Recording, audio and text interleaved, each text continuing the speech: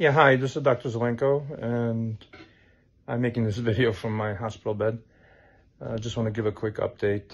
Uh, many, many people have expressed their love and prayers, and uh, I'm very grateful. Thank you.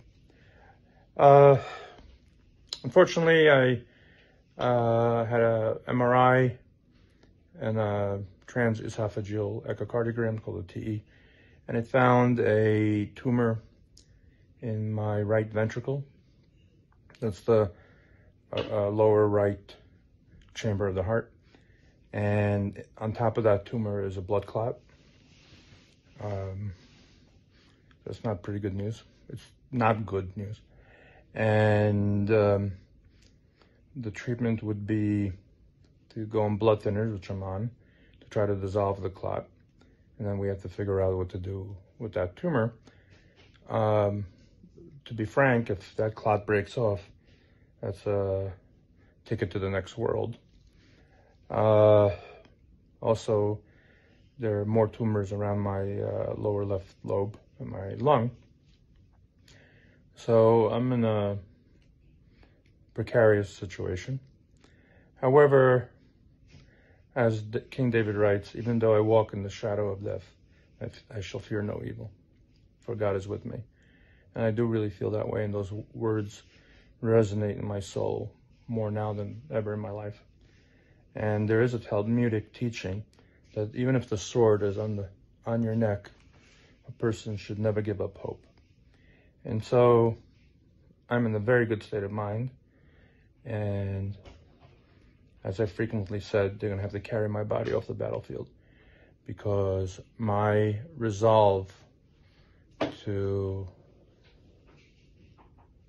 help humanity, the, the vulnerable, the innocent, decent people overcome this uh, terrible darkness and plague that is upon us has never been stronger.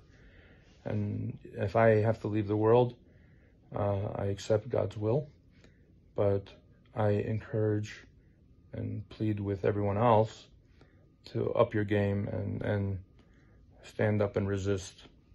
Uh, resist first within yourselves against giving into fear, and then resist publicly against the policies of tyranny which are coming again. Because it's pretty obvious what's going to happen right now.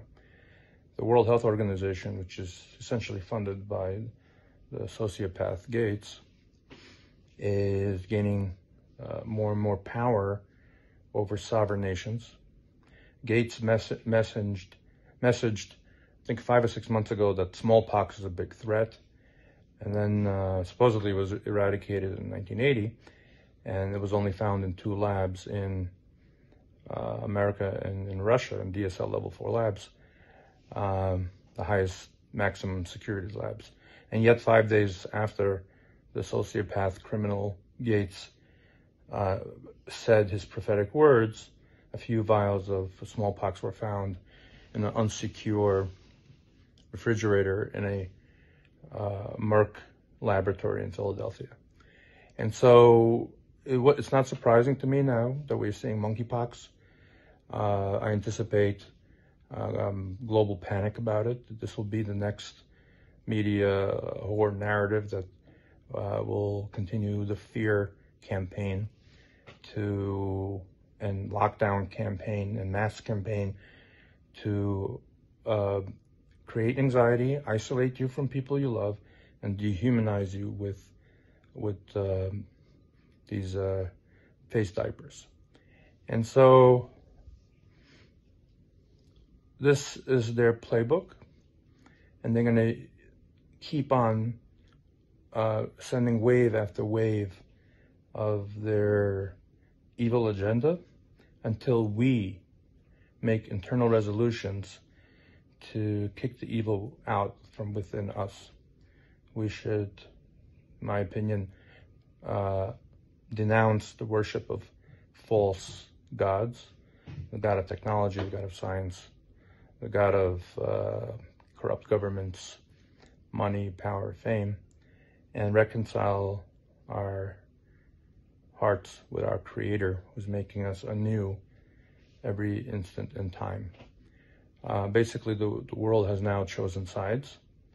Uh, those that will worship the machinations of man, and those that will uh, bow down to the Creator. And so let the calling begin. Um, you know, the world needs a cleaning. And when the process is done, the world will be filled with the knowledge of God, just like the waters cover the seas. And uh, the sociopaths have a big thing coming for them. They think they're gods. They think that they're ruling the world. Uh, we'll see. Um, so let the games begin. And I have no problem falling in battle for, because this is a hill that we need to die on. Because otherwise, our progeny will have nowhere to breathe free.